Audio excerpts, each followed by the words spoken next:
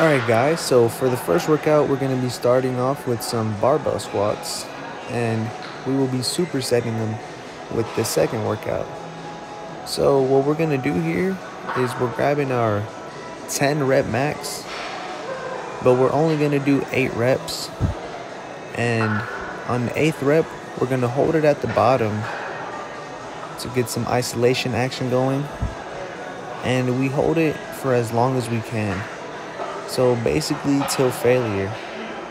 And after you do that, without any rest, you proceed into the next workout, which you will see very shortly.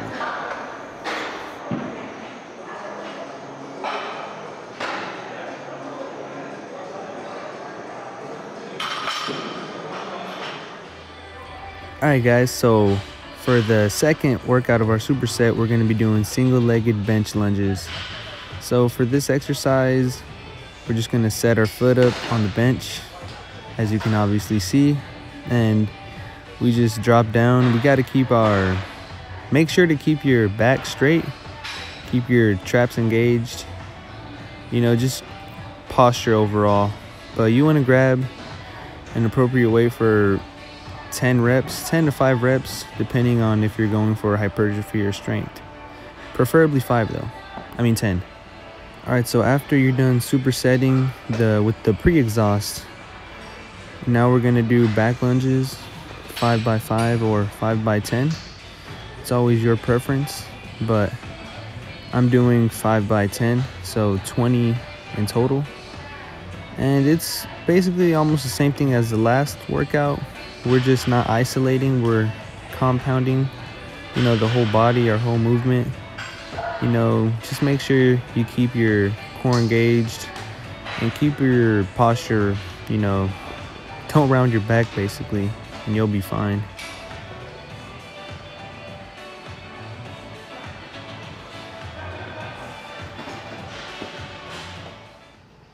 All right guys so after you finish that workout you're gonna want to go get a barbell and do some hip thrusters with it. Pick an appropriate weight, whether you want to do 5 by 5 or 5 by 10 Always your preference. But me, I'm doing 5 by 10 in this video. And um, personally, I really like doing isolation holds because I like to feel the engagement in my glutes. And as you can see, I'm holding the weight up I will be holding it there for 10 seconds and then I'm going to be lowering it down very slowly for another 10 seconds. And it's really just, it's really like just a good workout overall. I'm to lift it back up another 10 seconds and then I'm to hold it up there for five seconds. And it's really just, I mean, yeah, just do it. Make sure your lats are a little bit above the bench, like right where your lats finish so you can get good engagement in your glutes.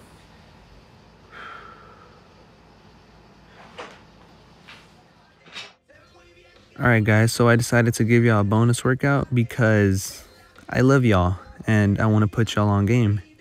So for this workout, I'm rowing, working my overall back, getting good engagement with that. And after I row the weight, I proceed to clean the weight up or hang clean the weight up, whatever you want to call it.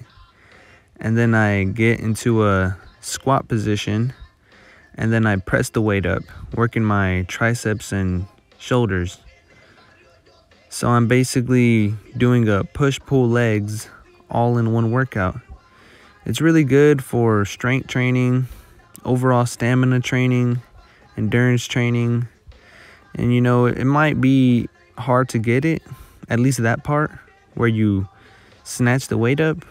But overall, if you just learn the movement, learn the technique, it's definitely a, a killer. And I recommend it to anybody, whether you're an athlete or just barely starting out. But yeah, guys, um, I know I've been slacking lately, but you know, it's I want to stop that officially. So Thank y'all for watching. I love y'all. And um, yeah, I'll see y'all in the next video, which will be coming out in the next day or so. So, yeah, thanks again for watching, guys. Enough slacking. I slacked for like the past three months, so thanks. Love y'all.